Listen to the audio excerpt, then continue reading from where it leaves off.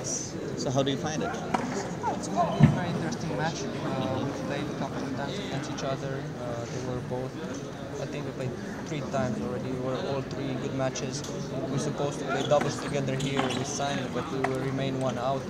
And then we, we switched partners so we, we can uh, play the tournament. Using a Australian Open, we're going to make a doubles team together. We're good friends.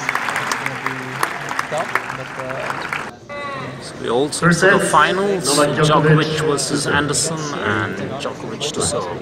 Both had a great 2018. And to be here directly in the main draw with the, the best top 65 players in the world, it's really nice. And we are underway. 15 love. It's about your off-season preparations.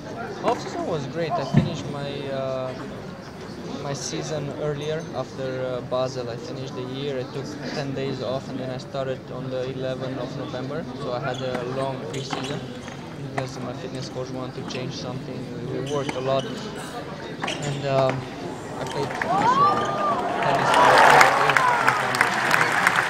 and really, really worked out lot and I'm really happy how the, the pre-season We also saw the finals, Djokovic versus Anderson and Djokovic to serve. matches because uh, I'm kind of tired from the from the practices.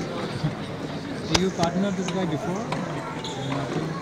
Yeah, we, we, we played together a couple of times. And we are underway. 15 love. Uh, two or three times already in, in challengers. And, uh, yeah, I mean we know each other pretty well. Yeah. Thank you very much. Thank you very much. All the way best. Thank you. Yes. So how do you find it? It's going to be a very interesting match. Uh, we played a couple of times against each other. Uh, they were both, I think we